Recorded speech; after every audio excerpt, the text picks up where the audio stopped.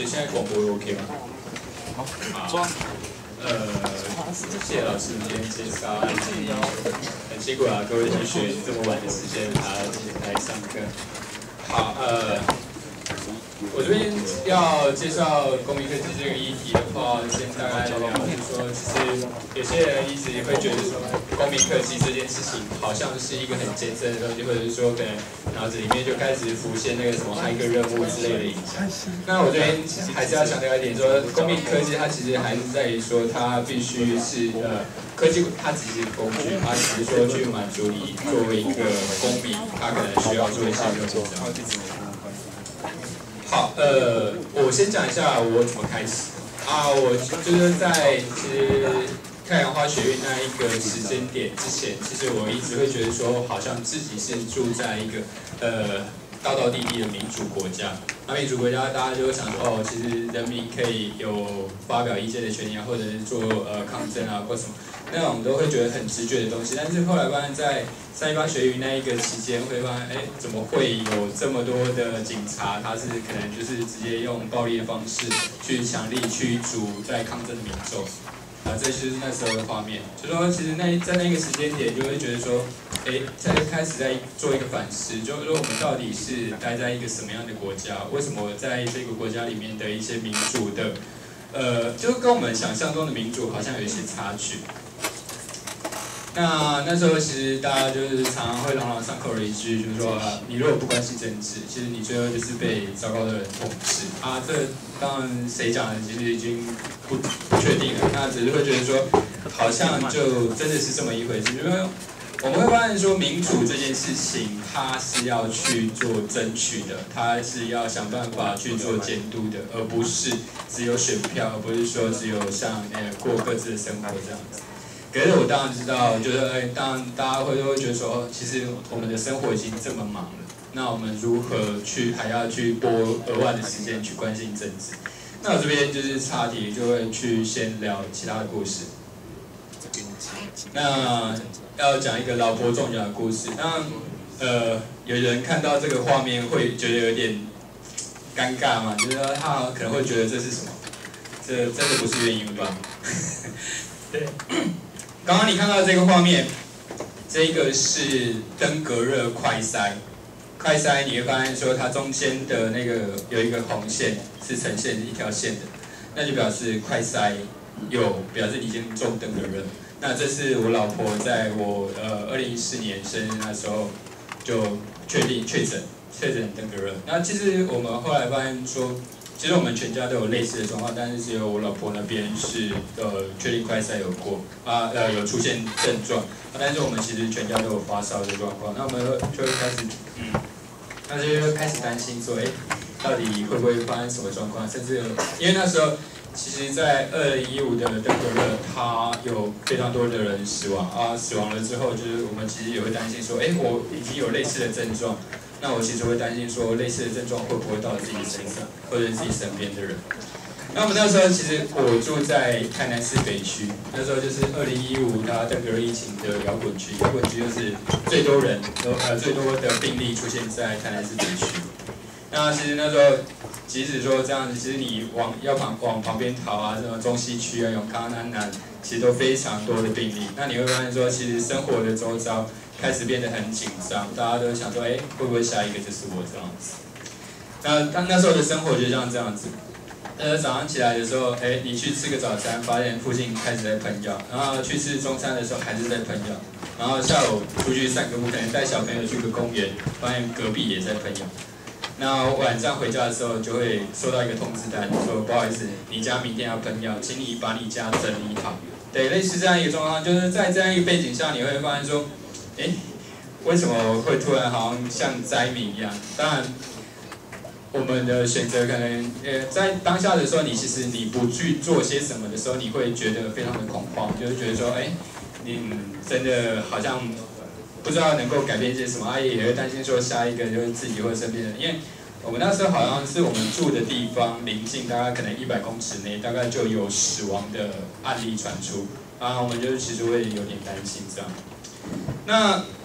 当然不要坐以待毙的话，因为我自己本身算是在资讯背景，那我就想到说，我是不是可以运用我自己熟悉的工具，然后做些什么？那那时候在二零一四的时候，其实高雄的登革热疫情就已经有爆发过一次。所以那时候有些网友他已经制作了一个叫高雄登革热地图，但是因为那时候他的高雄登革热地图，它只有针对乡镇市区，因为什么？因为你资料只有开放到乡镇市区，那其实他们做图、制作图呈现的话，就只能做到乡镇市区。那我这边就是开始去看，就说因为你自己身边呃自己身边的人中呃登革热啊，你是呃应该说整个环境里面大家都在讨论登革热的时候，其实你很难不去关注这件事情。那我就去看卫生局的资料，卫生局的资料就长得像这样子，它是怎样？就是它会列出每个村里，然后在哪个时间点啊，可能有最后一次发生病例的日期啊，以及说解除旅馆的日期这样。但是它是一个 Excel，而且它是一个人工维护的 Excel。这里也聊到一个有趣的地方是说，就是因为持续在关注这一份资料，然后我们后来发现说，他其实有犯了一个很大的错误，在那个时间点，他就是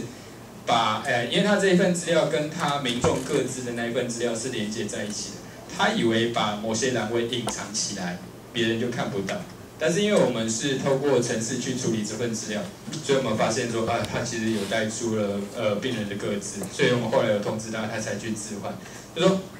这也其实呈现一个说呃在资讯素养落差的问题，就是大家其实对那一种呃他以为他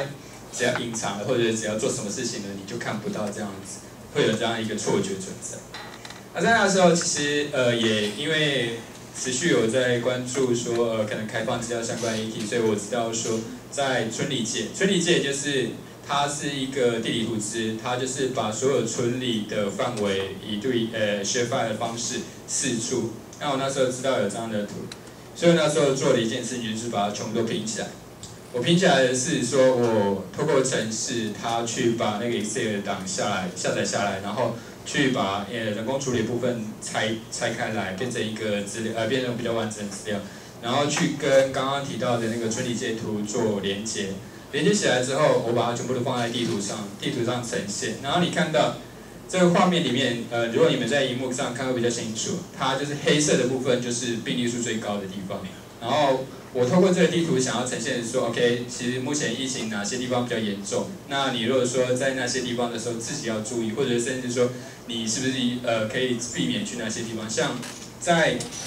呃过去在北区那里的时候，它就刚好是在一个市场的周遭，啊那个市场周遭其实可能比较脏乱。那其实我们后来有这样的资讯之后，我们就尽可能的避免去那样的市场这样子。这这个地图它，你把它往下滑的时候，它其实就是它病例数增长。你会发现说，九月的地方，它其实数字飙的还蛮快。然后因为那时候算是，就说其实高雄这个地图那时候做，因为二零一四呃，在二零一四的时候，它病例数还没有非常高。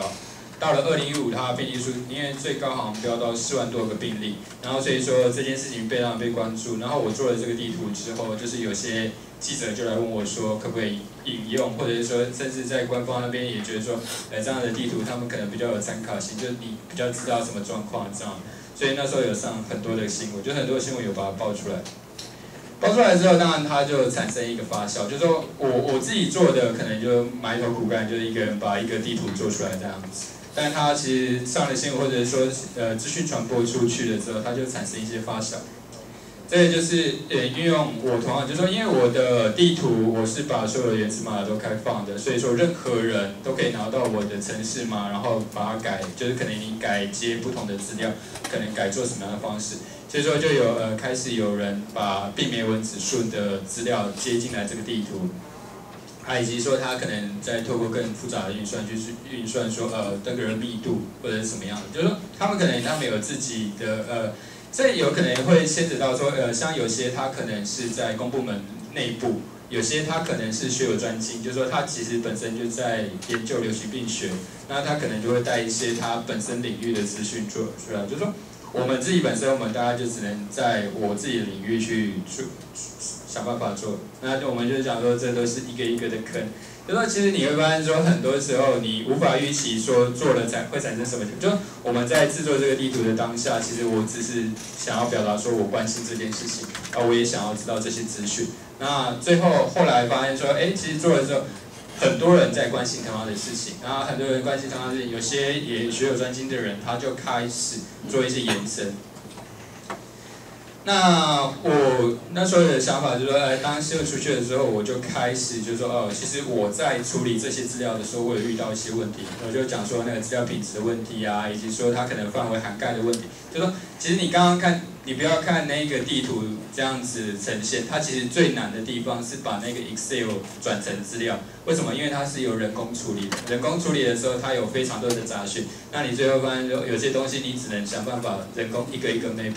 这样子啊，而且 mapping 完了之后，你发现下一个版本，因为换一个人做了，那个里面的字就全部都乱掉了，就全部都再做一次。所以说，他其实花非常非常多的功夫都在整理那些资料。那我就在呃新闻报道的时候，我就去提这个问题，就说其实你这些东西照理讲，呃，从系统里面直接出来的资料交，为什么你还要经过人工，就是人工经过去再去处理这样子？那这是外壳嘛，就有一个理应。就是里应外合嘛，就是他其实后来在卫福部内部就有一些朋友，他就是变说也关注这个议题，啊也发现说我们这边提到的问题，所以说他就想办法把我们串，就是需求跟供给端去把它串起来。要把它串起来的话，他就是提供一些意见，然后就是想办法扣一些 meeting 这样子，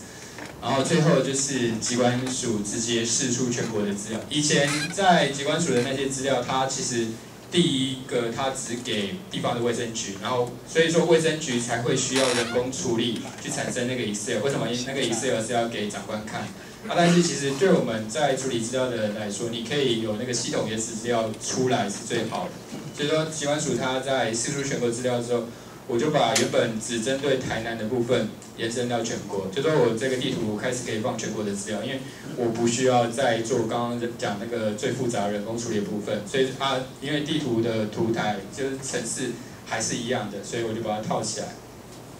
再就是甚至呃机关署它把整个病例的资料，就是它当然不是把病例住家的那个点位释出，它是透过统计区的方式。去告诉你说，这个统计区那个点它是接近这个病例，以这样的方式，那我们就可以大概知道说它病例分布的状况。这当然它主要是有助于说我们做一些额外的分析。那因为我不自己本身不是学这个领域的，所以我大概只能把这图做出来，就想看看它呈现的样子。那最后呢，就是机关署自己，就说因为我们在民间已经开始有各种不同的发想。但是因为我们民间毕竟是没办法直接接触到政府内部，它比较敏感的一些资讯。但是它如果说可以在政府内部做一些事情的时候，其实它可以产生比较大的效益。所以说机关署后来也的确透过内部，就是可能啊那时候好像是一个替代役，他因为说有城市的背景啊，他也愿意帮这件事情做一些什么。然后所以说，它机关署后来有一个登革热病例群聚地图，它其实是最完整的。为什么？因为它是直接从原始资料去处理，而不是像我们这种，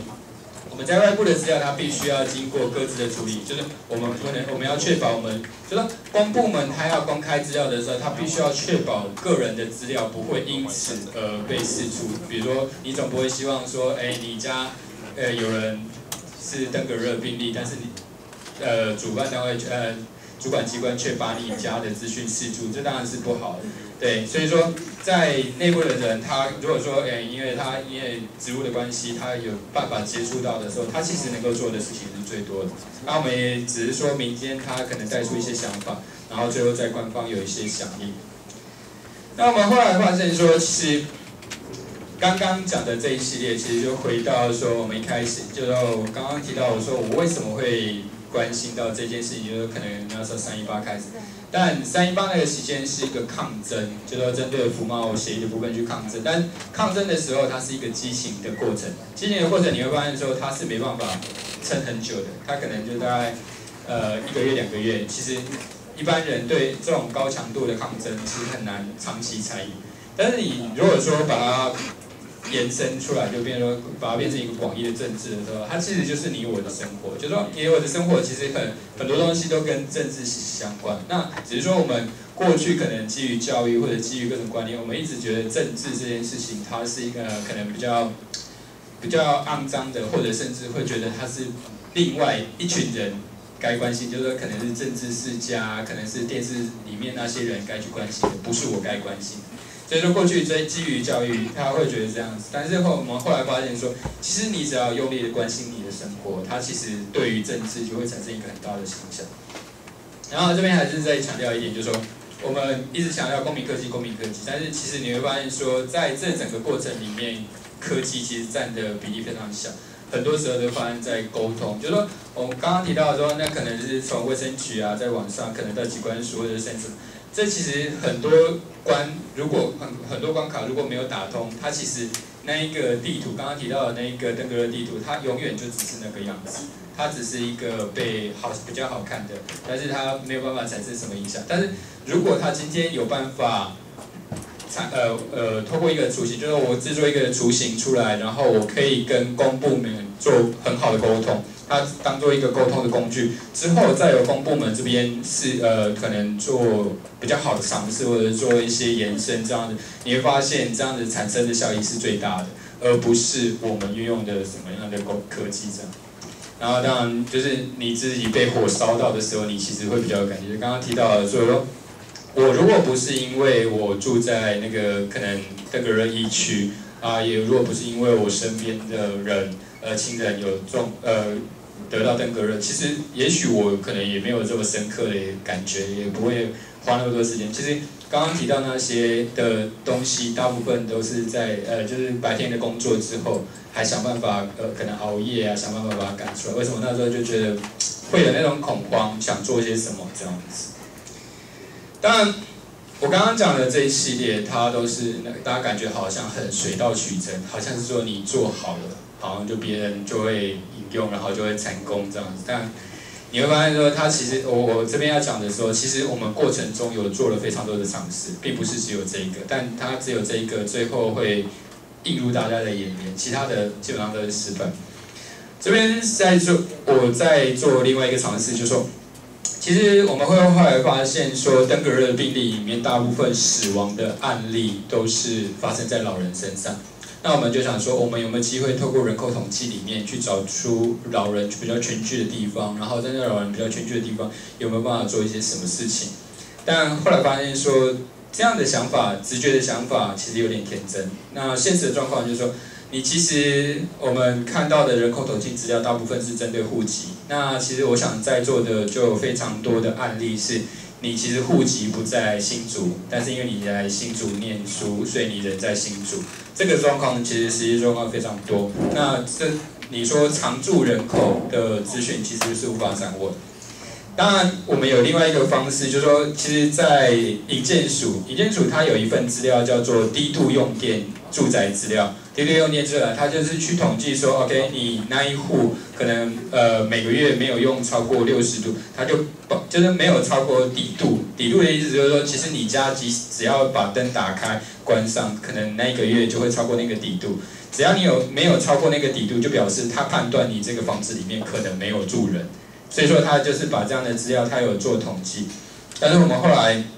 想要去接触，说有没有机会这个资料，因为他目前对外公开的只有到好像乡镇市区层级，那我们就想说有没有机会让它更更小，比如说更加统最到最小统计区或者什么样的时候，我们才有机会根据这份资料做些什么。但是我们后来发现，他们其实因为就呃。就说各自基于各自啊，或者什么商业机密啊，他们就不愿意释出这样的资料，那我们就发现这边也是卡住的。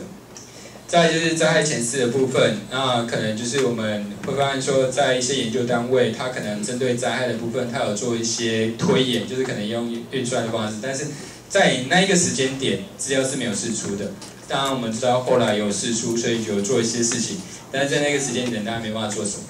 再就是公共管线。公共管线为什么要去关心？就是我们那时候有想到说，哎，其实你蚊子都是可能跟着水沟来的，跟着水沟来的时候，我们想说，我们的理想是想说，呃，水管，呃，只要是有水沟的地方，也许就是可以去加强房子，或者甚至去探讨说房子确不确实。但是我们后来发现，光是公共就是光水沟的那个图纸，其实在公部门是完呃几乎是残缺不全的状况。大概只有一些新的从化区，它会有比较完整的公共管线资讯，但是其他地方大部分是没有。所以说，这这特别在台南这个比较老的一个都市，它是比较没办法这样子。所以说，我们会发现说，这很多的尝试都是没办法的。再就是违建，就是我们那时候还有去做一个判断，就是说，哎，可能有些地方它因为可能有多盖或怎么样的，它可能会产生额外的漏洞，但这些资料也是没有没有释出的。再就是后来有，因为我制作了那个地图之后，我有跟呃算台南市政府这边做一些合作，就说可能我这边可以提一些需求，他们那边是觉得说可不可以把这样的资料整理出来给我，然后我再去。算做一些发想，然后那时候就是针对喷药的部分。喷药其实呃，我们一般环境性的喷药其实是常常常常在进行的。它环境性的喷喷药，它可能就是呃，只在你家外面的水沟喷。但是登革热的喷药不太一样，就是当你的呃你家呃或者你家附近邻居，他可能有人得了登革热之后，他必须要在周遭可能五十公尺到一百公尺范围内所有的房屋。里面，他要进到里面去喷药，所以说他会其实其实会带来很大的困扰。那时候就是讲说，哎，我其实人不在家，那怎么办？他就会请锁匠直接破门进去，把你家的全部都喷下去。那那时候一开始用的喷药，其实它的那个药剂是比较湿的，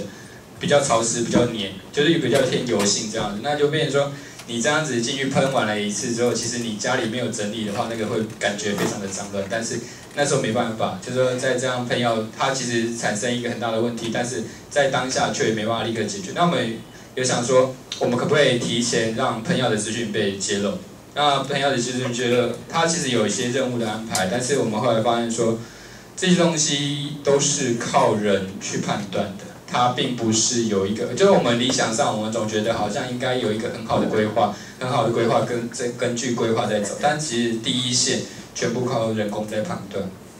那人工判在判断，它就变成说，它只是前一晚上在决定，它有点在，就是说变成说在呃依据可能前几天的病例状况，然后它就安排那个区，然后在行政细节，就是说它只能画一个区块，告诉呃我会在这个里去喷药，但是我没办法告诉你说我会怎么走，就是说会发现说我可能公告的范围太大了，但实际上我只有喷里面的一个小部分这样。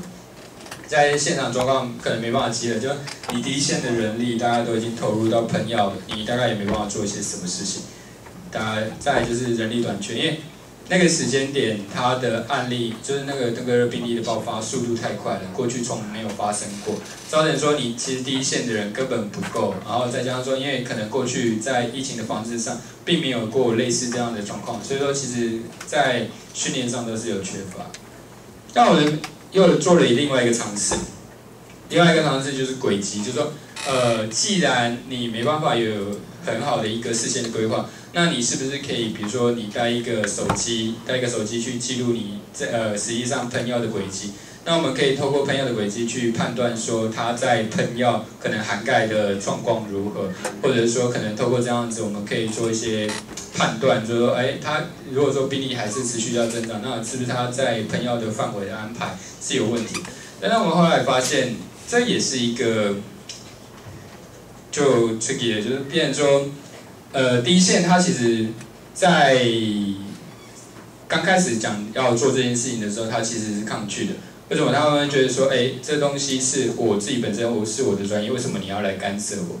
再另外一个问题就是说，设备误差太大。就刚刚看到的那一个地图，你其实会发现说，它那个在轨迹，就是说，比如说走动，因为它是用走路的方式，走路方式的时候，它其实在你用手机或者用行动设备所收到的卫星讯号，它其实那种呃品质是有点差的。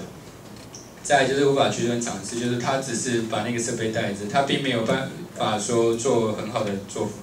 再就是上面这种的，比如说大家会发现说这样的一个尝试，就是我们一开始的概念要做的尝试的时候，其实一下子就觉得说哦好像没有用，就直接整个放弃了，而不是想办法去改进它的流程啊或什么。毕竟在那个时间点的人力都是非常不足的状况，其实这第一线他会觉得困扰，我们大概也没办法说什么。再另外一个就是。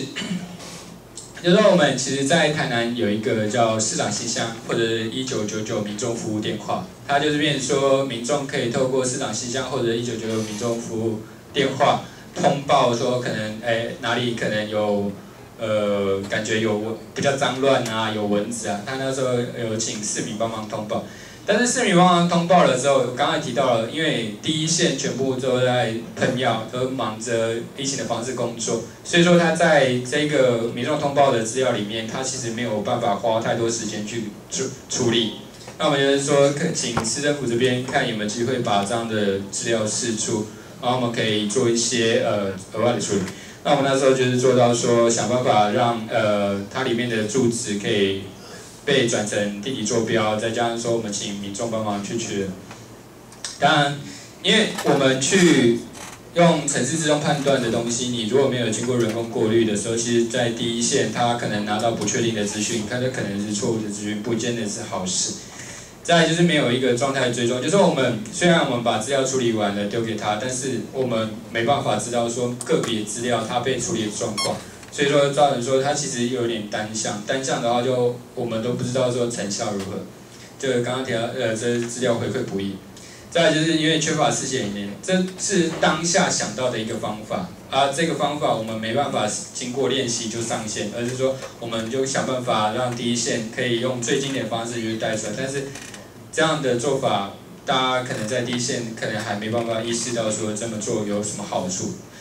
当然，就是并不是每个故事都有完美的结局。所以说，我们做了那么多尝试之后，它其实我们后来发现，登革热疫情它其实会开始下降的原因，只是因为天气，因为天气变冷，所以说它就疫情慢慢消失，并不。觉得我们我们会发现说一切都是徒劳无功啊，就是发现说，哎，你花了那么多时间，说投入那么多人力，但你最后发现居然是因为天气变冷，然后整个病例数下快速下滑。然后在整个状况里面，就是这个死了两百零九人，这其实是一个蛮大的一个数字，而且这死的人里面就在住在就是算住在生呃住在邻近的区域，这样其实感觉蛮糟的。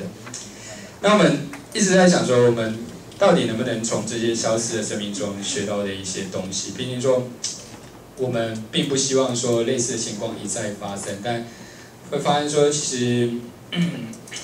有些东西我们大概必须没办法从外部里面去看，啊，我们大概是想办法有没有机会走到里面去。所以说，在这一个事件过后，我后来进入了台南市政府，然后就想办法，就是我那时候是约聘人员身份，然后后来也去经济部，后来再去时代力量，后来离开。说，我后来发现说，从内部去看的时候，也许我过去在外部一直以为在内部可以去解决这些问题。但是我后来发现，进入了内部了之后，发现呢啊，它其实内部有非常多延伸，呃，非常多其他问题需要解决，根本没办法专心做好我想做的事情，这其实是另外一个问题。然后我们后来发现说，其实刚刚提到，就是说我们其实对各种的灾害没有准备，没有任何的演练，就是应该说我们即使有所谓的演习，有所谓的演练，但那几个东西做的都太假了，这边说造成说我们。到实际灾害发生的时候，我们就会才会发现说很多东西都没有准备好。像之前台南二零六大地震，或者像之前花莲大地震，都有类似的情况，就会发现说，哎，我们在文件里面都写的很完美，但是我们后来发现，在第一线，因为你紧张，因为你忙乱，或者甚至民众各种的情绪化，你根本没办法照着那个 SOP 去做。再就是跨单位的资讯缺乏连接，刚刚提到说。登革热的资料其实由机关署那边控制，然后到卫生局之间，它其实跨单位之间的资讯，如果可以很有效的连接的时候，其实可以发挥很大的作用。像刚刚提到室外喷药其实是由环保局，啊，室内喷药其实是由卫生局，但你要知道这两个局它彼此的资讯是没有共享的，所以我们不知道说到底你有没有因应它呃因应对方的做法，然后可以调整你自己的做法这件事情。在公部门里面一直是一个问号。再就是太多繁荣的行政工作，会发现说，之前进入到比如市政府啊，或者进入到经济部里面，我发现说，很多很多的时间你都花在 paperwork，paperwork 就是你必须要填各种表单啊，必须要完成公文流程啊，最后才可以做这件事情，跟我们在外面想的不太一样。然后再就是预算排期的问题，就是说，我们发现说，你要做这件事情的时候，你势必要从呃，要拨出预算来做，但是你要拨预算，你就会遇到说，它跟现有的业务，比如说它可能呃原本的钱是拿来盖房子，但是你说想要把那一笔钱拿来做呃，比如说我刚刚提到软体的设计的部分，其实是有点困难。所以说，在这样一个状况下，就很多，就是说你可以看得到问题，但你会发现说，其实不太容易做。那这边就是要强调一点，科技并不是一个魔术。就说刚刚，呃，大家可能会都会觉得说，哎，可能现在在谈大数据啊，在谈 AI 啊，但都会觉得说它好像可以解决很多我们生活上的问题。但是从它这个技术的出现，一直到这个技术能够解决问题，它是一个非常冗长呃非常长的过程。到底有没有办法去做到这件事？我相信大部分的科技工具是没有办法到最后一步的。那我后来会发现说，其实我们，呃，在公部门里面的经验里面，我们太过注重硬体建设。就说你会发现说，很多的预算都被花在可能铺马路，我要开一条新的路，我要盖一个新的房子。但是我们发现说，这个房子里面需要的是软体，或者是可能在那个路段需要的维护一些成本，都没有都没有被考量的进去。再来就是。提到说，很多的资料其实都是在政府内部，政府内部里面，它其实比较缺乏那种可以处理大量资料，或者是说处理比较，呃，应该说它比较缺乏我们业界的一些资讯，但这个东西就需要公部门那边更多资料出来。当然，比较理想的状况就是更多有概念的人，但是你会发现说，呃，刚刚提到的那些资讯技术。它其实，在业界都会有比较好的一个呃薪资条件，但是你如果说进到公部门里面，它就是公部门就是看年资，比如说 OK，你就是菜鸟，你就是只能拿到这个薪水，然后你就是想办法熬熬个五年十年，拿到一个稍微好一点的薪水。但是那个离业界，就说你呃可能城市设计已经到一个程度的时候，其实那个东西的差距是非常大的。你会发现说，在公部门的环境里面，你很难吸引这样有概念的人进去。那刚刚也提到说，像机关署，它最后是那个有替代役做，为什么替代役就是不是传统的公务人员，他才有办法有那样的呃想法去做事。再就是更多的尝试，就刚刚提到的东西，就是你如果很多东西你没有一开没有一个开始，它其实很难到达一个成熟可以使用的地步。但你会觉得说，呃，可能有些人会觉得说那些尝试都有点多余，但是你没有那样的尝试，你找不到更好的方法，这大概就是一个想法。但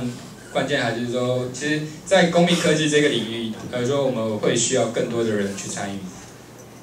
啊，还是再强调一点，就是说，你是你又不如果不关心政治，就是说我刚刚讲讲那么多，它其实还是聚焦在说，其实政治跟你的生活是息息相关。你若不去关心他的时候，你就会发现说他其实很多事情都嗯变得很糟。就是你有时候突然突然去看到的时候，你才会发现说哦，原来已经变那么糟了。当然，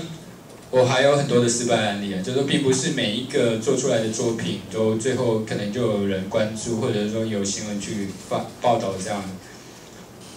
那我想要聊一下 GDP 这个东西，GDP 就是 G O V。就是 government，G O V 把那个 O 改成零，那它有一个概念，就是说我们可能要想办法从零开始去思考这个政府，那它就是，所以它叫做临时政府，零是零一二三四那个零，临时政府。那时候其实，在三一八的期间，这个临时政府经常被有些媒体就当做哦，临时政府是那个以前国民政府那个临时临时出现的政府，就好像要推翻他们一样，但实际上不是这样的一个状况。那在 GDP 里面有比较一个呃常听到的 slogan，就是说不要问没有人呃为什么没有人做这个，先承认你就是没有人。为什么？你只要你是没有人，就是没有人做这个，就是你要去做。就说没啊，但是因为没有人是万能的，所以啊你就是没有人做。就是这其实是一个城市的一个递回逻辑啦，就说你其实你是它会变成一个无限回圈。然后临时政府其实促成了很多的专案，当然我不确定说在场大家是不是有关心过，啊，他可能就是说可能在把中央政府总预算的部分，把它做成视觉化的呈现，而不是说可能传统你必须要阅读大量的 paper，或者是说针对一些可能呃议案的部分，就是像立法院你发现说有什么样的问题，说啊我他可能用很图形化的方式告诉你该做一些什么样的表达。以及像什么立委投票指南、议员投票指南，这些也许对可能对我想说对在场的各位也许会有点远，但是其实你去参与到其中，你才会发现说这社会其实还有蛮多问题需要我们去参与解决。那我提到 G M 的只是一个一个好处，就是说一群人其实大于一个人。刚刚提到的东西，如果说都只有我一个人去做的时候，其实我自己的能力它是有局限。那你如果说有机会是由一群人一群人去产生的。就也许会带出一些什么，那这个比较好说，就是说在 G 里面里面，可能它会有一个 Slack 聊天室啊、社团啊、Happy 共笔，就是说它会有比较多的协作，就是说在 G 里面里面，它不会在意你是什么身份，就是说不会在意你可能是高中生，不会在意你可能是一个退休的人，那你只要你只要有意愿关心社会性的议题，你就可以进到它里面去了解。那最快的方式就是去 Hackpay 上面看目前有什么专专案在进行中。刚刚老师提到说，可能有一些地图的部分，其实，在 GMB 里面也许也有类似的案子在进行中，啊，或许有些结合的地方。那这边还是要强调说，很多时候就是说，我们虽然讲了呃，这这，就说在那个人地图的案例里面，你可能会觉得说，好像你做了一件事情，就会有非常多人的响应。那我后面就强调说，他其实很多的，我我所做过作作品，或者其他人所做过作品，大部分是不被没有被看到的。他没有被看到的时候，其实你没有看到的状况下，你很多时候还是得自己一个人走下去。就是你必须要 push 自己，说 OK，你觉得这件事情很重要，你就想办法要把把自己 push 到一个程度的时候，他才有机会被看到。然后还再回头讲，就说其实。公民的意识，它可能会比科技这件事情重要。那我们会发现说，其实，在参与了那么多之后，会觉得说，嗯，我们是不是太过去？应该说，也有过去是在技术领域，我们过去都太过于强调科技这件事情。但其实，在公民这个领域，其实我们所认识的不深，会发现说，会不会问题出现在这里？然后，所以呢，所以呢，所以我。就是今年我会去试着去参选议员，参选议员的方式就是其实我二零一四就有参选过，但是大概也没人提过二零一八，大概你也不知道这件事。那我参选的用意其实很单纯，就说我知道我所刚刚提到的那些东西，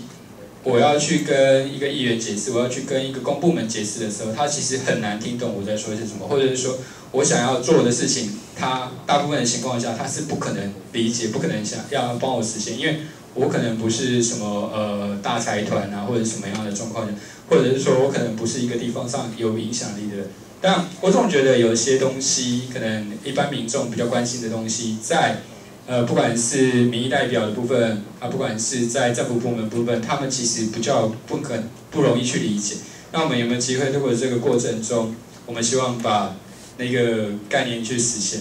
那就还是回到居民那一句话，就是说，当我觉得好像在呃，这可能民意代表的这个领域里面，没有人在做这件事情的时候，我就想说，我是不是该做做看？那我就跳出来试试看。所以就在，我大概有几个概念，就是说，我会觉得科技为先的。当然，我刚刚一直强调说科技不是重点，但是它需要有一些新的方法的尝试，而不是说一直拘泥在就是传统你要用纸笔写表单的方式。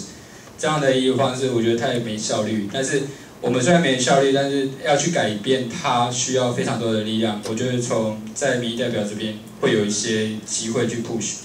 再就是开放透明，你会发现，如果你有去关心过议会里面，它决定那个呃各种议案，就是说议会大概就是决定了每个县市它可能各种公共预算的主要的单位。那你会发现很多时候它都是一个表演过程。你能够看得到的是一个表演过程，你根本不知道说它实际上是怎么样讨论，就说还是根本真的都没有讨论，就直接就让各种案子过。像之前有人提到说，好像不知道苗栗还是哪几个县市，长期都没有在删减预算，没有删减预算，表示说他到底有没有看过那些预算内容？再就是强化软体，就是刚刚一直在强调说，我们的呃政治，我们目前的政府，我们就是目前的政治太过于强调说要有一个议题建设，呃，有议题建设我才有机会去剪彩，才有机会上镜头。但是我如果把那些钱都花在一些软体的时候，其实就没有这个曝光的过程。那就是如果有机会就可以去议员投票指南帮忙个赞。然后接下来就是一个 Q&A 时间，然后。你这一个 QR code 就是我刚刚整个过程的投影片，你只要用手机扫描，你就可以看得到。那看大家有什么问题，那也刚好差不多三十分。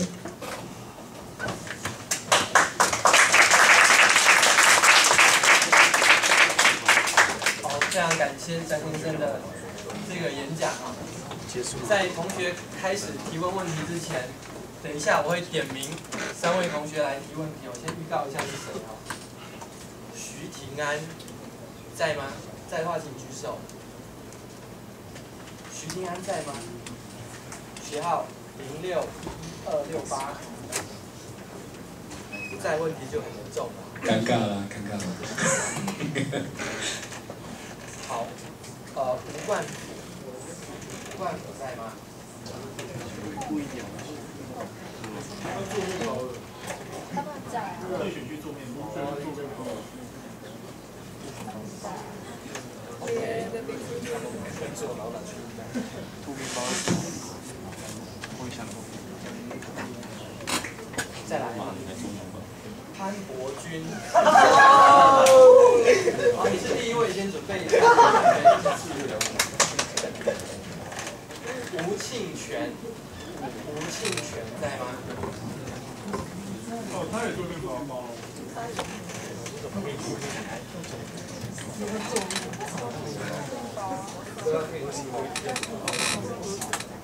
好意思，可能我这点名单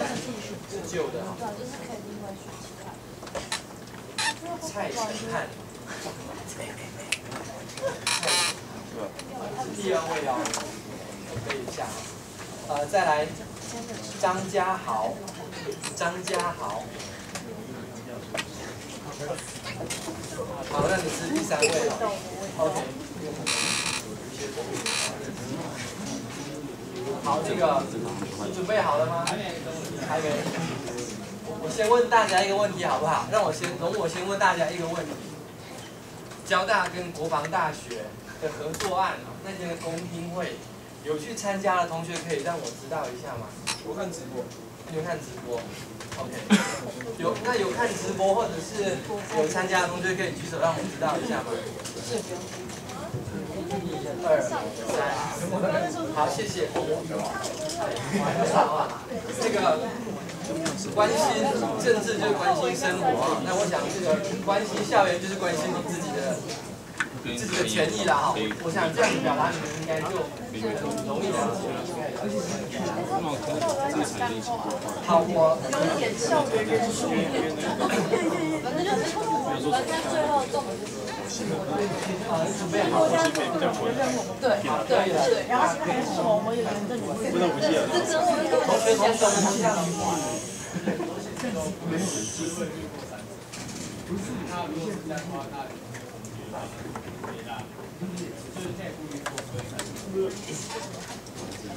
你所谓的略过是略过是？嗯？呃，对，三审对。那其实这个问题主要就是怕过程中，因为议会的主要的任务是在监督地方政府，但是你却会发现没有人在监督议会。这件事情其实一个很大问题。那你说如何要去避免？就是拜托各位有空就去看一下他们的那个决策过程。就他也许是枯燥无聊的，但是你会发现说议会所决定的东西影响你生活周遭。比如说他他可以决定哪一条路要铺，哪一条路不铺。但是你会发现说你家门前的那条路永远是破碎的，就是骑起来很不舒服。但是为什么有些路就是一直在铺？为什么？因为就是议会决定，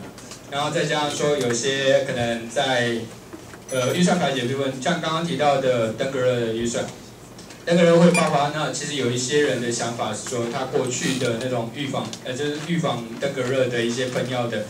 预算被删减了，造成说他后续可能爆发。当然有这有点阴谋论啊，就是说你很难去确认他的观点，但你如果有去关心的话，也许可以在第一时间点就避免，比如说我们预防胜于治疗嘛。你如果在第一时间点，呃，议会要删这个预算的时候，民众站出来去抗议，说哦。你这个预算不能删，为什么那个登革热会死很多人？但如果说有人这样子关心，或许就不会真的发生那死那么多人，或者说甚至像地震。但是这关键在于说，我目前你很难透过去立一个法，说你议会不可以这样子，因为为什么要去监督议会的人是一般民众，就是你我。你我如果不去监督这个议会的话，其实议会就是整个都是像黑箱一样，这样其实是会有产生很大的问题。谢谢伯君哈，下面请看。嗨。不好意思，我听不到。我想问一下，你刚刚不是说什么开开放后，就是有什么办法可以让，就是议会的程序不要那么黑？其实，呃，目前的议会它都有所谓的议事录会公开，但是议事录什么公开？什么时候公开？半年后，就是我今天开完会，半年后我才给你，半年后我才告诉你说，呃，我可能出席怎样，但你其实你看到的时候，你已经无法改变一些什么。那在台北或新北，可能公民意识比较强烈的地方，他其实已经要求说，哎，你议事录应该是在，比如说你开完会一个礼拜。你就该出来，或者说你在议会讨论的那些议案，你应该是提前。像在台南，你就遇到一个状况，就是说我从网络上下载的资料，我去看，啊，看了对比那个在议会里面他们在实际上，呃，他们在问的一些问题，发现说，哎，怎么页数都不对，我才发现说，原来网络上的资料是旧的，但是议员手上拿到的资料是新的，啊，为什么民众拿到的都是旧的资料？这也是一个很大的问题，就是说，啊。这些你如果不透过开放，不透过透，就是你不去争取它开放，你不去争取它透明的时候，它永远不会开。为什么？我你不知道我最好做事啊，就说哎，整个都是黑箱的状况下，里面我爱怎么做就怎么做。但是我一旦打开来，我就要对你负责，就说 OK，你今天你出席，你有没有到？啊，再加上说你在你议会里面，你到底给这一个案子什么样的意见？还是你就直接盖个章就给他过了？这种明明影响可能是数十亿的案子，你却很简单都没有讨论过，你就让它过了。这其实这些东西，如果你没有要求它开放，没有要求它透明的时候，其实你永远不知道它里面发生什么事情。然后我会觉得说这件事情，还是必须要透过民众去关心啊。你如果说民众说没有去要求议会做这件事情的时候，就好比说我们可能，呃，该怎么举例？就是说很多时候你会发现说，呃。如果整个都是关闭的状况，就是说我可以做，就是对议员来讲，我不开放，我都最好做事的状况下。但是你因为就因为不开放，所以说他做了很多事情，你不知道，或者甚至已经影响到你的利益的时候，你还是要想办法说有没有机会去争取。啊，这都要靠各个地方。像现在其实我刚刚就提到台北双呃新北，它就是因为在很多的民众的要求下，他把各种议事录的时间缩短，把那种可能跟整个议事的过程，或者是说他整个会议记录都是公开的，他才有办法去评估说这个议员到底跟这个案子有什么样的关联，啊，以及说有没有利益关系这样子。谢谢，这样子有回答到你的问题吗？听起来很复杂的样子。呃，嘉豪，你可要大声一点，我我听不到。就这种关系。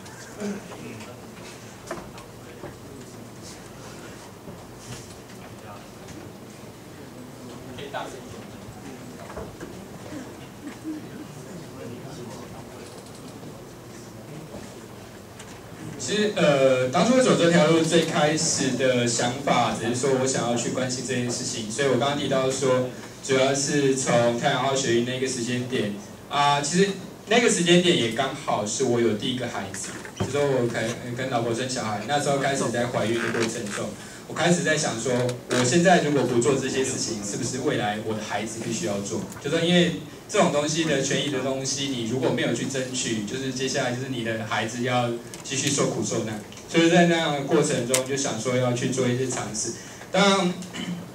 我进入到体制内，比如说在台南市政府、在经济部，甚至后来到时代力量，这样子走一圈的时候，我会发现说，你没有实际上去参与到第一线的那个地方，就说可能不想办法走进议会。你其实很难改变那个地方的生态，就是说你只是在外面喊。刚刚一直提到强调一点，你如果希望议会改变，你没有一直去争取的时候，它其实是不会有任何改变的，不会有任何改变，就是不要说说你眼前的生活大概就只能以为是这样。但是你会发现说，议会他所在意的东西跟民众所在意的东西差得越来越远，但是差得越来越远的时候，你要拉近最快的方式就是你自己跳进去里面，但。跳进去里面一定不是那么容易的，当然就想说有没有机会做一些更多的尝试。啊，我们也想说，呃，比如说我们自己熟悉的东西，有没有机会在这个领域去做运用？这样有回答到你的问题？是。好，我想问一个问题是这样子的，就是说，在刚您提的很多的议题里面，很多议题都选择用地图的方式去呈现，或者用地图的方式去表达它。那我想问的问题是说。有没有什么样的议题发现说它不适合用地图地图来去呈现？有没有这样子的案例？其实目前看起来就是呃，地图就是跟地理有关的资讯，大部分的还是会比较倾向说通过地图去呈现，而不是说，因为目前的官方大部分都是用表列的方式，就告诉你说什么里。或者说什么地号，但是一般民众其实很难透过那个文字就联想到那个地理空间。那你说什么样的资料不适合？其实就是它可能是时间序列，就是非常多的资料，就说你很难在，比如说我刚刚你刚刚看到那个地图，它只有单一数据，就是病例人数。但是如果今天它复杂一点，比如说我要看的是空气品质的资料，空气品质的资料可能就有 PM 二点五，可能就有二氧化硫。可能就会有呃臭氧之类的数据。你在多种数据的呈现的时候，你希望搬到一个地图上呈现，就会变得很复杂。就说我我不能够在一个地图里面塞下大量的资讯，大量的资讯最后就是它已经失去了我原本希望简化资讯的目的。所以说在这样的状况下，我最后还是选择用统计图的方式呈现，而不是去把它全部都标在地图上，因为标在地图上看起来会有点痛苦。好，不晓得各位同学有没有什么问题想要提出来的？假设你有问题想问，但是你又不好意思在现场提出来，你可以把它写在回馈单上面了。那在课程结束之前，我想要再提醒一件事情，是我们下个礼拜的课程是 A 班的同学哈，A 班的同学在这里上课，B 班的同学是下下下。拜上课，OK。因为我们下下礼拜是红蓝老师的演讲，红蓝老师的演讲，所以下礼拜呢，不管你是土木系一 A、二 A、三 A、四 A 的同学，我们在这边上课。然后上课的内容就是我们用 QGIS 来绘制登革热的地图啊，所以下礼拜一般的同学就会学会这件事情了。OK。好，那个同学如果没有进一步的问题，我想我们是不是可以再用最后用最热烈的掌声来谢谢江先生今天提供的指导。好，我们下课了，记得把电脑给关机，谢谢你们。